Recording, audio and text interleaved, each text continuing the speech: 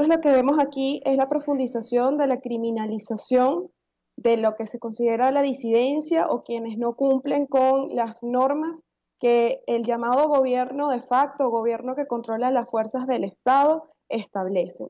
Eh, decimos entonces por disidencia un concepto muy amplio que no solo es el político opositor de un partido contrario al de el gobierno de facto, sino incluso aquel que ose, digo osar en los términos de lo que como ellos lo ven, eh, pues protestar, manifestar pacíficamente, ejercer sus derechos. Eso pues lo vemos en el caso de los pensionados y jubilados y lo vemos igualmente en el caso del cumplimiento o no de las medidas sanitarias e incluso medidas que se hayan autoimpuesto en determinados lugares, porque el problema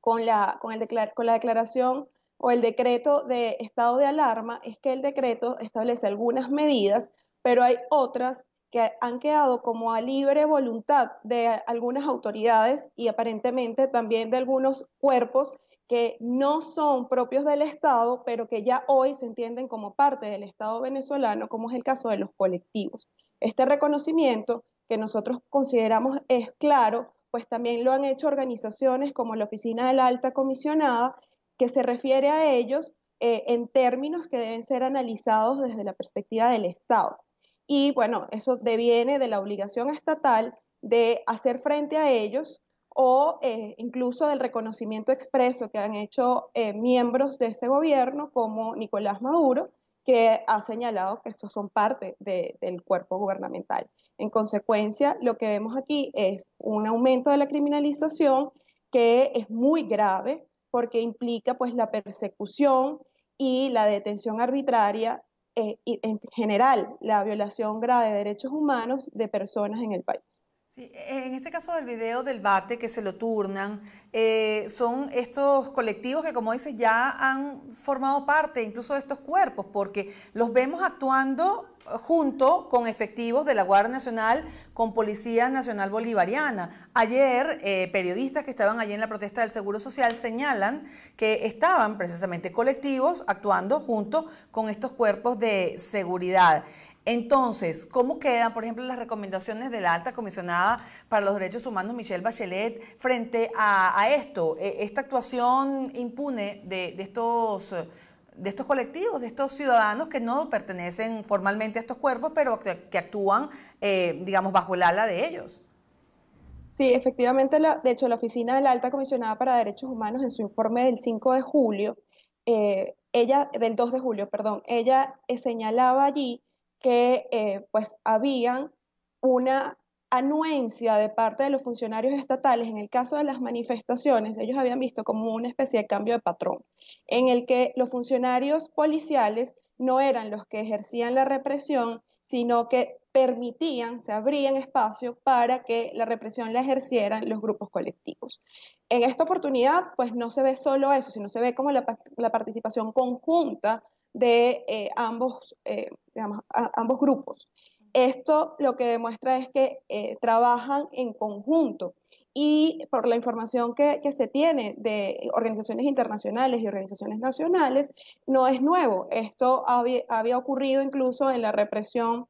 2014, 2017, 2019. Entonces, esas recomendaciones de la Oficina de la Alta Comisionada que, que aparecen en el informe del 4 de julio del año 2019, en esa oportunidad, pues eh, ella ya hace un grupo de recomendaciones que se amplían en las recomendaciones del 2 de julio y del 15 de julio,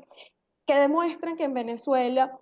en nuestra opinión, no hay una voluntad clara de establecer mejoras de las condiciones de derechos humanos, sino, por el contrario, continuar violando derechos humanos. Eso hace que la oficina de la alta comisionada tenga que expresarse de forma clara y contundente ante el Consejo de Derechos Humanos e igual el resto de los mecanismos que existen activos para la situación de Venezuela deban hacerlo para que la comunidad internacional entienda que en el país la situación no ha mejorado, por el contrario, ha empeorado y puede seguir en peor condición. Esto de, los colectivos con los bates, este video que de verdad eh, eh, impactó, conmocionó a la opinión pública nacional e internacional, porque hubo bastantes condenas al video, hizo que el fiscal general designado por la Asamblea Nacional Constituyente, Tarek William Saab, condenara el hecho y abriera una investigación. ¿Cómo lo ven ustedes desde el Centro de Derechos Humanos de la UNIMED? Andrea. Bueno, eh, creemos que es correcto el iniciar una investigación y que además se inicie desde la Dirección de Derechos Humanos. Esto es muy importante destacarlo, porque al iniciarse desde la Dirección de Derechos Humanos significa que eh, quien ejerce hoy el cargo de fiscal general designado por la Asamblea Nacional Constituyente, Tarek William Saab, ha considerado que está presente violaciones de derechos humanos y las violaciones de derechos humanos devienen del Estado. Entonces, él está reconociendo eh, el origen estatal de esa situación y eso es importante destacarlo. Y lo segundo que es importante destacar es que la presión, la denuncia, la difusión que hacemos desde eh, las organizaciones de derechos humanos y que puede hacer cualquier ciudadano para, para, para ejercer y para exigir sus derechos humanos en oportunidades tiene efectos. Nosotros creemos que en buena medida el, el tema de la fiscalía es, una, es, es un avance pero eh, no deben cesar las exigencias hacia el Ministerio Público porque el Ministerio Público ha servido como un ente más del sistema de justicia para la persecución y ha sido utilizado como una herramienta de persecución política y ha servido para la impunidad. La impunidad que hoy viven las familias de, los más de, 100 de las más de 100 personas asesinadas en el año 2017. Entonces, no basta solo con este inicio de investigación, que es necesario, sino que tiene que avanzar en las investigaciones, por ejemplo, el caso de Juan Pablo Pernalete y determinar los responsables, no solo los responsables materiales, sino también los responsables intelectuales, o sea, los autores en ambos términos. Y en ese sentido, entonces podremos pensar que ha iniciado un cambio hacia el, pues, la búsqueda de unas mejoras en la situación de derechos humanos. Por el contrario, solo consideramos que en este momento eh, hay una situación que permite señalar que se está actuando conforme al deber ser, pero esperamos que, se, que, continúen haciéndolo y que lo hagan realmente y cese la política de persecución y la política de ataque en contra de la población civil disidente. Y en el caso de, esta protesta de los, de los pensionados y jubilados ante el eh, Seguro Social, Andrea, porque bueno, fueron detenidos dirigentes vecinal, un dirigente vecinal y un eh, presidente de la Asociación de Jubilados y Pensionados del Metro de Caracas, luego los liberaron en la noche. Pero, a ver, una agresión contra personas de la tercera edad, ¿qué debería ocurrir aquí?